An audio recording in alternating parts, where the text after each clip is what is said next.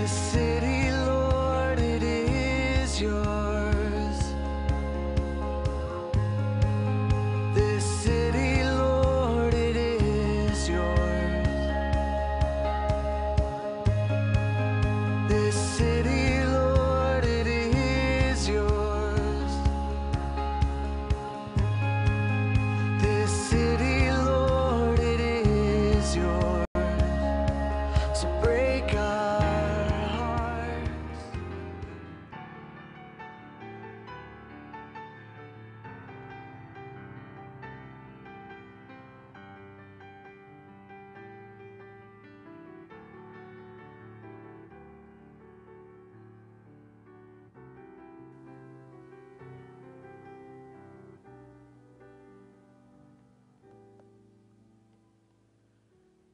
When the Lord Jesus Christ hung on the cross that day 2,000 years ago, I want to tell you something. The veil of the temple did go down.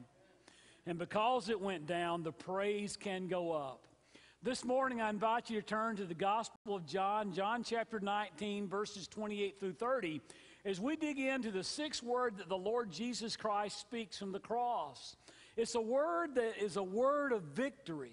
It's a word that is a word of conquering. It's a word that's a word of, uh, uh, uh, of being the winner. Jesus Christ speaks his word of victory, and it's a powerful word that he speaks, and it's the word of finish. He speaks out, he cries out, It is finished. You know, many things in life never get finished. The yard work never gets finished. The cooking never gets finished. You know, the whatever it is, it never gets finished. College never gets finished. Nothing gets finished. But Jesus Christ, when he went to the cross, and the last words that he speaks, he speaks this word of victory. It's a word of finish. He says, Tetelestai, it is finished.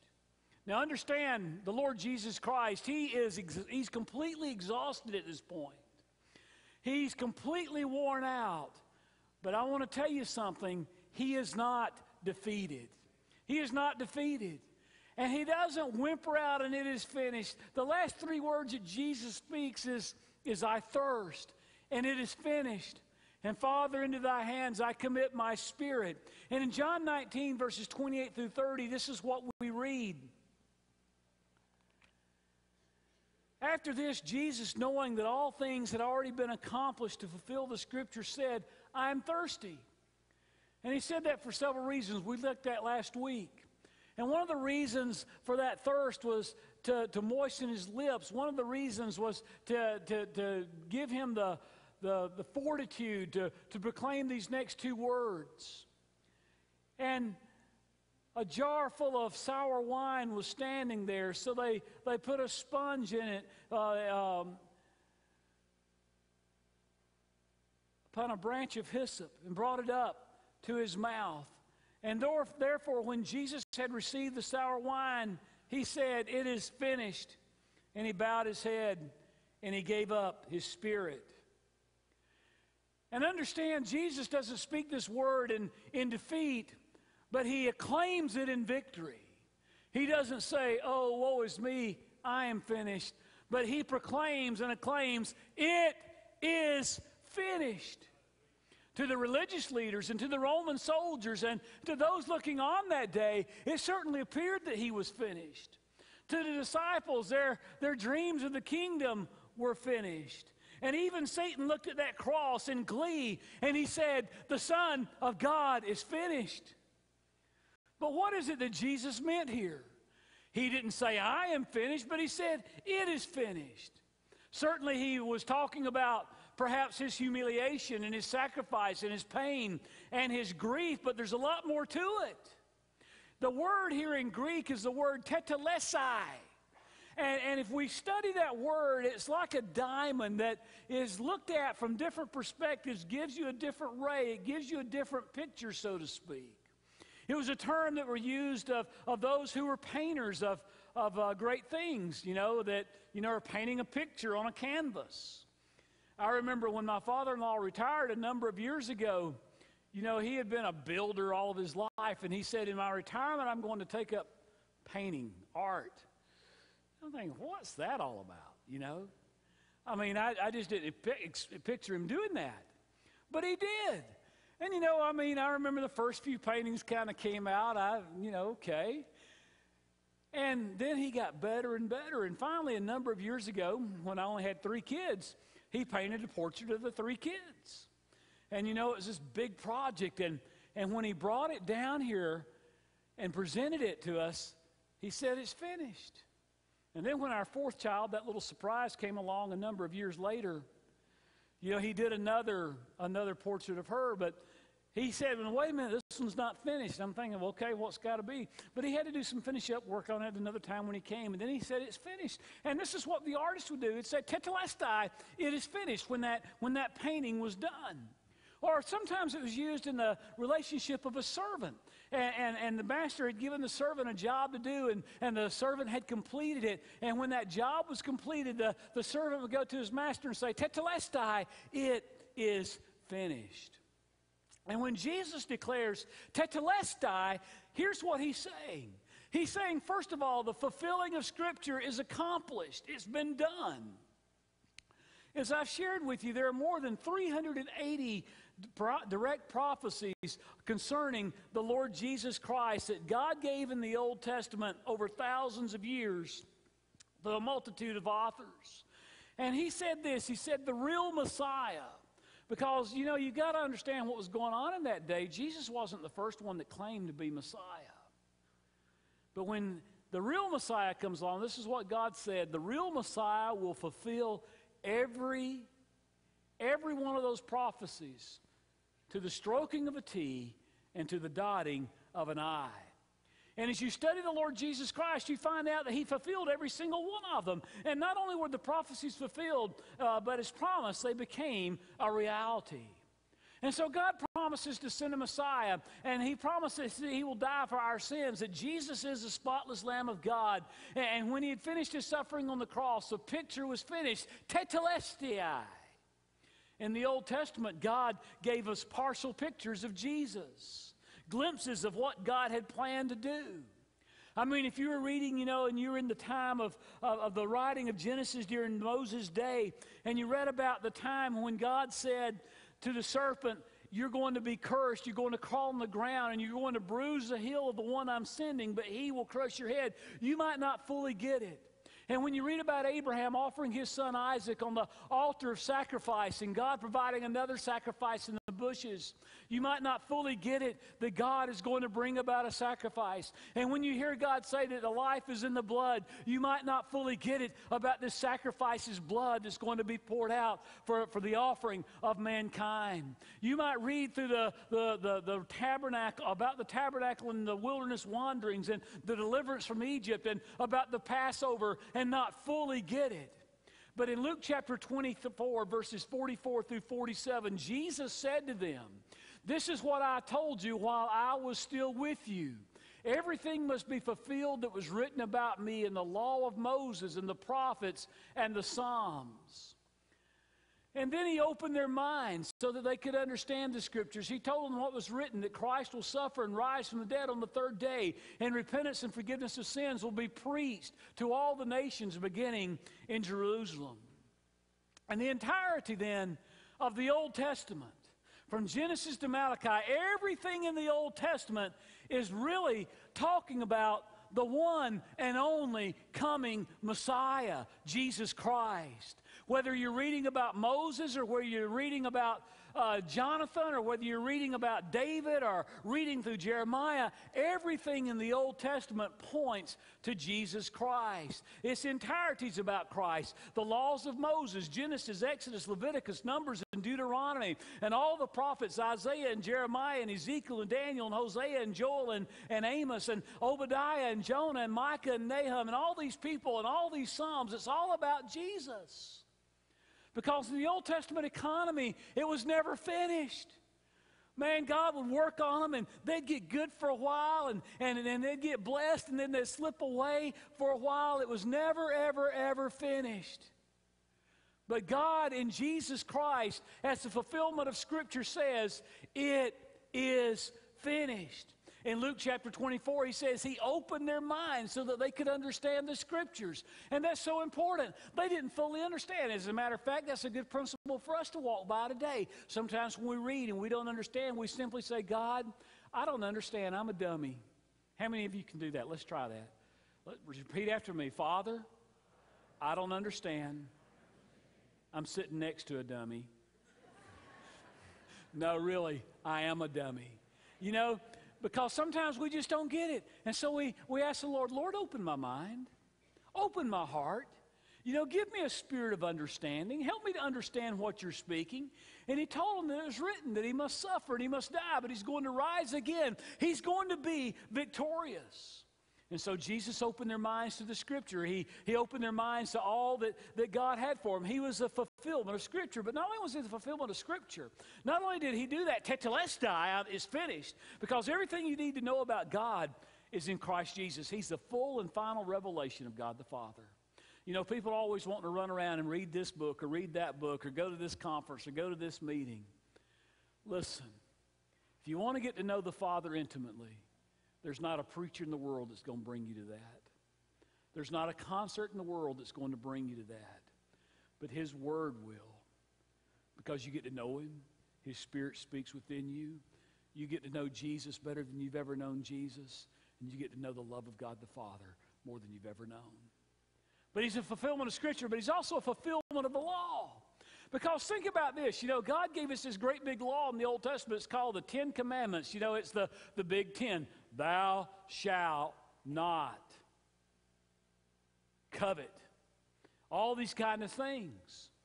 And, and, and when he tells us that he's a fulfillment of the law, tetelestai, it's also used then in a judicial term.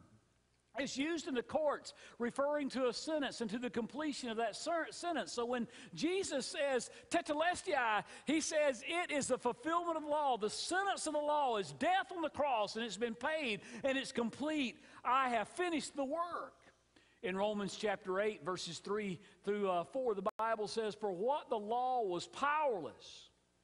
In other words, Nobody's ever been saved by keeping the law. What it was powerless to do, in that it was weakened by our sinful nature, because you see, it was powerless, our weakened sinful nature. You know, we choose to do these things.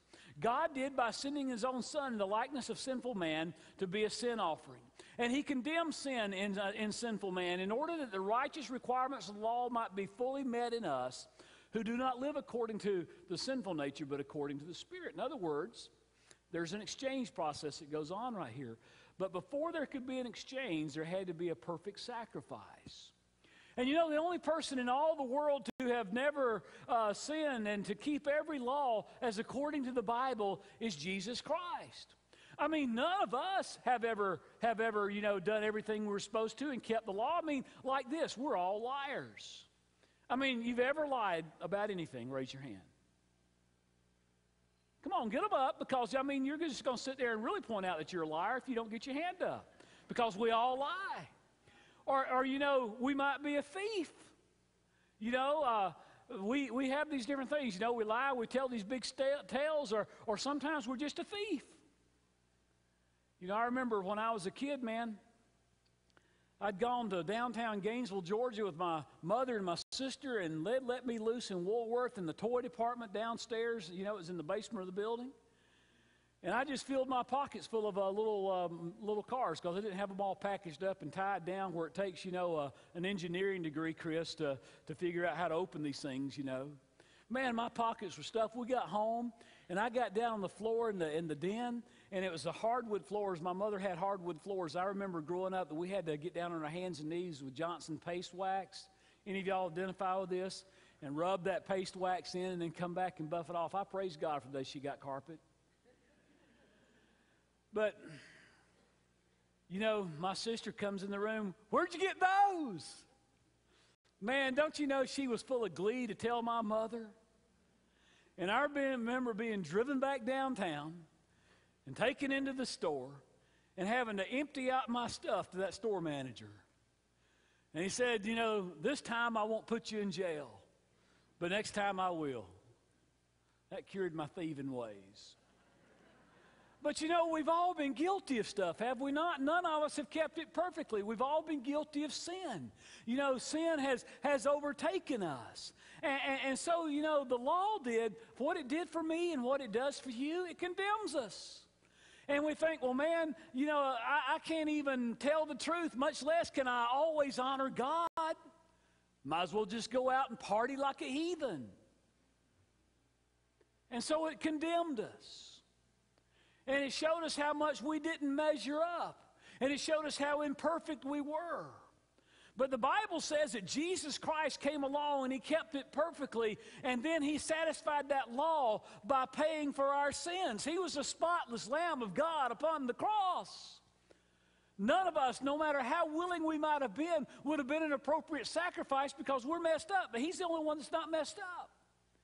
And so Paul writes to the Colossians. Now, understand who Paul is. Before his conversion, his name was Saul of Tarsus. He was a Pharisee. I mean, he was an uptight religious dude. He understood it. He was as to the he was a he was a Hebrew of the Hebrews, man. I mean, that's like saying, you know, I'm a Christian of Christians. I carried the biggest Bible in the church. I'm of the tribe of Benjamin. I'm circumcised on the eighth day. And this is what Paul wrote. He said that he canceled the written code. He, he canceled out that debt with his regulations that was against us and that stood opposed to us. That's what the law has done. And he took it away. And what did he do with it? He nailed it to the tree and he covered that law with his blood and with his sacrifice. And he took it away so that he paid that penalty. He was the fulfillment of the law's requirement. Wouldn't it be great tomorrow in the mail if you got a letter from American Express or Visa or MasterCard or even your mortgage company? Your account is paid in full. Amen? Y'all aren't very excited, are you? I, I, I think that deserves an amen. You know, that would fire you up. You know, your mortgage is paid, your, your credit cards are paid, and all that kind of stuff. And that's what Jesus did when he went to the cross and he bled there on that cross. He said, For those of us who acknowledge and come to him, that the debt is paid in full. In Romans 10 4, it says, Christ is the end of the law so that there may be righteousness for everyone who believes. What does it mean to believe? I look to him. I see him on the cross. I don't look at him like the religious leaders did. I don't look at him like the Roman soldiers did. I don't look to him like the others standing around that day did. But I look to him as the son, as, as the Father did upon his son, the perfect sacrifice for my sin, who takes it away that I in him might have life. I look at him not in a, in a borrowed tomb, but I look at him as the victorious and risen Lord, the Son of God, who said one day as he ascended into the sky that this same Jesus, not, a, not an apparition and, and not a hologram and not a ghost, but this same Jesus who went up is going to come back again one day. And he's coming to get me. He fulfilled it. He met the demand. He fulfilled as well the sacrifice. Because there's not a perfect sacrifice found except in Him. Because tetelestai was used in reference to that sacrificial system. And when the priests offered the sacrifice, it was symbolic of Jesus coming. And the sacrifice the priest offered was a spotless lamb, an unblemished lamb. And when he did it, he'd say tetelestai, but it was only finished for a short time. It was only finished for another year. But when Jesus Christ came, he was the perfect sacrifice for all time. Tetelestai also means that it fulfills sin's penalty.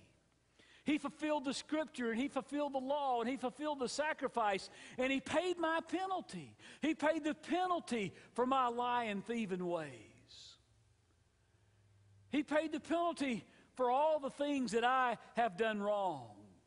Colossians 1:14 says the son paid for our sins and in him we have forgiveness. And you know, oftentimes as we purchase things we tend to use credit cards. And if you don't pay them off every month, you know what happens? That interest starts piling up, and you pay and you pay and you pay. Or like your mortgage, you know, you, you've got this great deal on a house. Do you go to sign those mortgage documents, and you see for that $50,000 house you bought, you're going to pay $5 million by the end of the 30 years?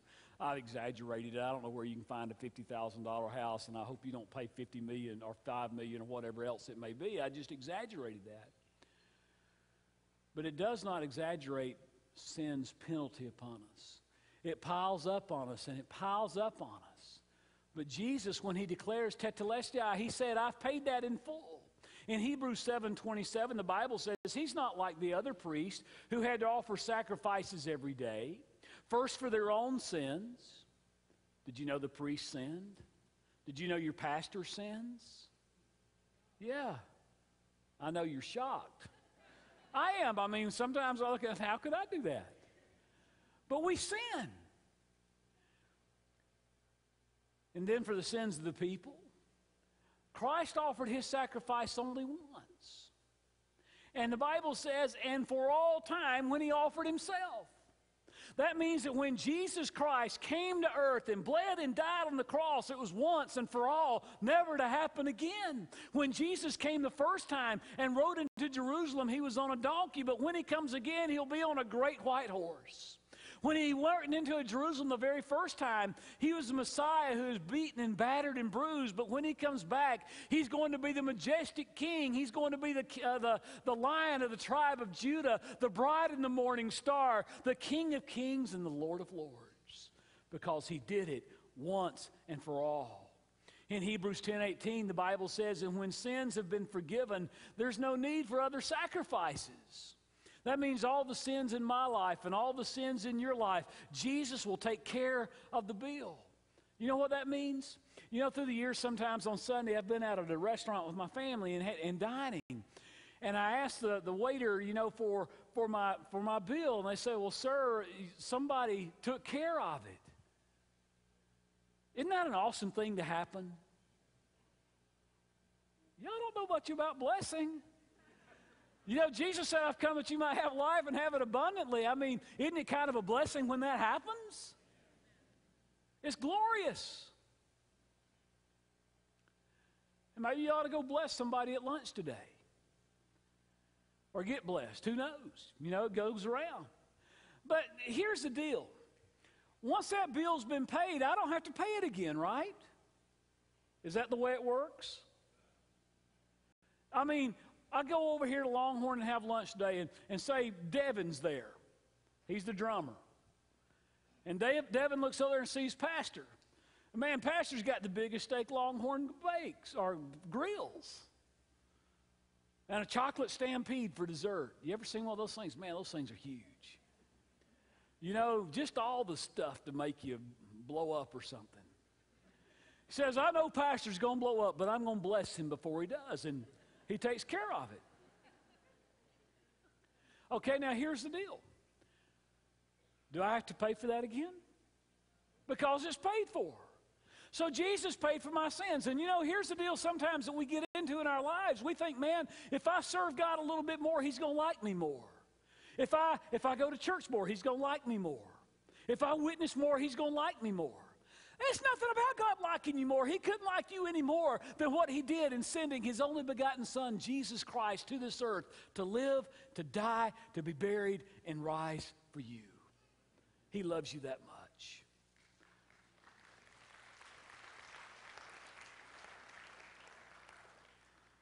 Isaiah wrote these words, but now, thus says the Lord your Creator, O Jacob, and he who formed you, O Israel. Do not fear, for I have redeemed you and I have called you by name. You are mine. You're mine. When God says you're His, there's nobody else is going to be able to touch you. There's nobody else going to be able to mess with you. And when Jesus said, Tetelestai, it is finished, those words are the most important words that have ever been spoken down through the ages of mankind. For he was declaring that it's finished. And if it's not finished, we're in deep trouble. If it's not finished, we're hopeless. If it's not finished, we're doomed because we can't do it ourselves. Jesus is the one who fulfilled the scriptures, and fulfilled sin's penalty. And finally, he's the fulfillment of victory. Jesus broke the power of sin and death. He broke that grip, the grip of death, the grip of sin, when he declared it is finished, giving it that shout of victory. In Romans 5:17, the Bible says, For by transgression of the one, death reigned through the one, much more those who receive the abundance of grace and the gift of righteousness will reign in life through that one, Jesus Christ. In other words, death reigned through the one. You know, we're all the seed of Adam. Adam's our father, every single one of us. He's the first man God created, and then the earth got populated. He said, Go out and be fruitful and multiply and there's been a lot of multiplying going on. And so sin comes to us naturally. By, by, by nature, I am a sinner. I'm born in sin. But also, I'm a sinner by choice. Am I not? I mean, sometimes I choose to do that which I ought not to do. Like, how many of you are on vacation today? Congratulations, you came to church on vacation. Now, how many of you vacationers drove here? How many of you sped? That is, you went above the speed limit at any point along the way. See there? Now, if a police officer pulls you over and you say, Well, I can't help it because I'm a sinner by nature and my nature made me do it. Um, Joe Preston's a sheriff's officer here. Joe, would that cut them loose? Not. They chose to. How many of you got a ticket on the way? You know, brother, I feel for you. There's a guy in the last service. You're not a pastor, are you? Are you a pastor? God bless you. See, I told you your pastor sins. How many pastors we got here this morning? We usually have, all right, couple. Amen. I'm glad you guys are here. I hope you're getting blessed today. You know, but we're, we're sinners by nature, we're sinners by choice. But Jesus, when He went to that cross, He made us righteous as we place our hope, as we place our trust in Him. And Romans 6.10 says, For death, that He died, He died to sin once for all, but the life He lives, He lives to God. That means that when Jesus gets into my life, although I'm a sinner by nature and a sinner by choice, He gives me the power to overcome it. It doesn't mean I'll never sin again, but it means that He's given me the power to overcome my habits and my hurts and, and my hangups. You know, we studied about those three things in Life's Healing Choices a while back. You know, we, we all have habits. I mean, you know, if you don't think you're a habitual creature, just think about what you do every day, about the moves that you make, the way you go, the things you do, different things. I mean, we're creatures by habit. And we all have hurts there. You know, we try to cover up and bury and, and do all that kind of stuff. And, and we've all got these kinds of hangups in our life, you know, and we, we think everybody else is weird, and we're the ones that are a little weird, you know. But Jesus came to forgive us. And he came to give us a supernatural ability that we could be more than conquerors in this world. Hebrews chapter 2, verse 14 says, Because God's children are human beings, made of flesh and blood, the Son also became flesh and blood. For only as a human being could he die, and only by dying could he break the power of the devil, who had the power of death. And only in this way could he set free all those who have lived their lives as slaves to the fear of dying. Are you afraid to die? You know, I was saved when I was eight years old. But in my late teens, mid to late teens, you know, I really got away from God and I didn't walk with God very closely until He got a hold of me. And I was about 22 years old. And sometimes I'd lie down at night and I would think to myself, if now if I were to die, I mean, I hadn't been very good. Would I go to heaven? At 22, when the Lord really got a hold of my heart and my life and really shook me up and brought me to a place of bowing before His throne to walk before Him in faithfulness, He took all that away. I'm not afraid to die today. I don't want to die today, but I'm not afraid to die today. I don't know why I don't want to die today. I mean, to live is Christ, but to, to, to die is gain. But you know, you don't have to be f- afraid of that. And you realize that you're never really ready to live until you're ready to die. And here's what the Lord calls us to He calls us to die to ourselves, to die to all these old things within us. Well, man, if I become a follower of Jesus, I'm not going to have any fun. Listen, I have some great fun. And I provide other people with great fun. I mean, we were breaking a fast in Morocco one time with some Muslims. I was so tired. I remember sitting down on the floor and I don't remember anything else. I passed out. That's pretty funny, isn't it? I mean, you know, everybody on the team was giving me a hard time, Pastor. You went to sleep in the in the meal that broke the fast that night, and we were honored guests. Sorry. In Papua New Guinea a number of years ago, they came in and made this presentation. Now, get it. I mean, it's hot there. It's like 150 degrees 24 7. And we are worn out. We'd been building a house for the missionaries there in the midst of the jungle. And I remember, here's my excuse. One of our team members kept getting up during the night. And I'd hear this person go up the stairs into the house. I was sleeping in a tent underneath the house, right? And they'd open the door, the screen door very, very quietly so as not to disturb me. And I'd hear it go, Lee Forrester, where'd you go? I saw you up. You remember this, don't you? And, and then this person would sit down at the keyboard on that computer, and I'd listen to this tick, tick, tick.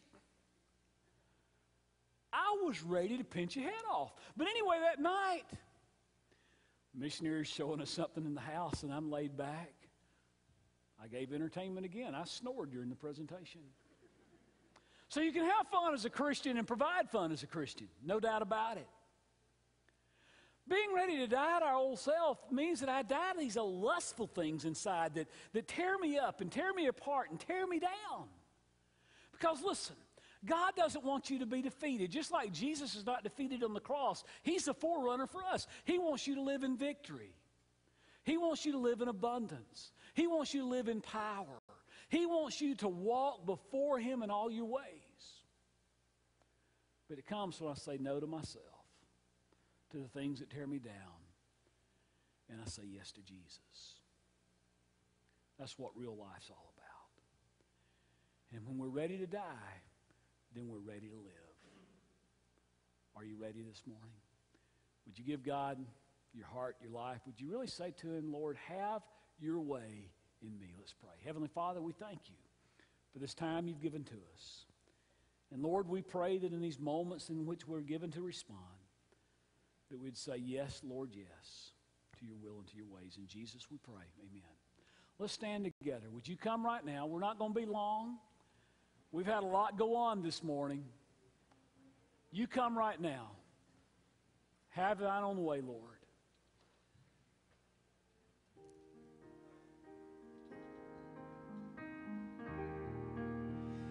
Have thine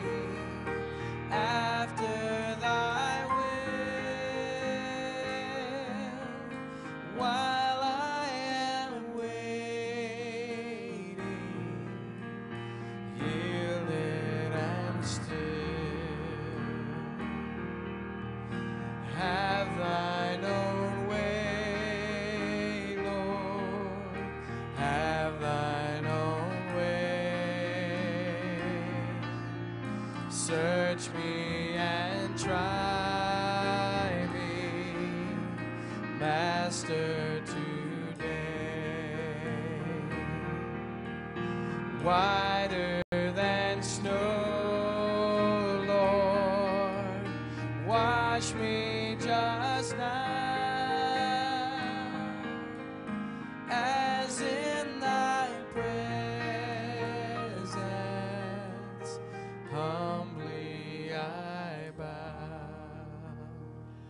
hope you'll take a moment to speak to the Tebus. There's a lot of stuff going on. Military guys, we want to appreciate you that missed last Sunday to the right as you go out the door. We've got cookies and punch and coffee down in the coffee shop that'll tie you over till you get your lunch. And uh, we just want to get to know you. And the concert tonight, Christian Stanfield, 7 o'clock. If you don't have your tickets yet, that's cool. We'll charge you double. No, not really. You come on. We've got room. We've got plenty of room, I think.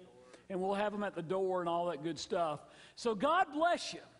And, and remember, because Jesus shouted, Tetelestai, it is finished.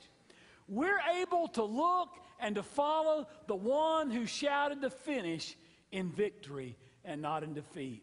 Keep looking up until he comes.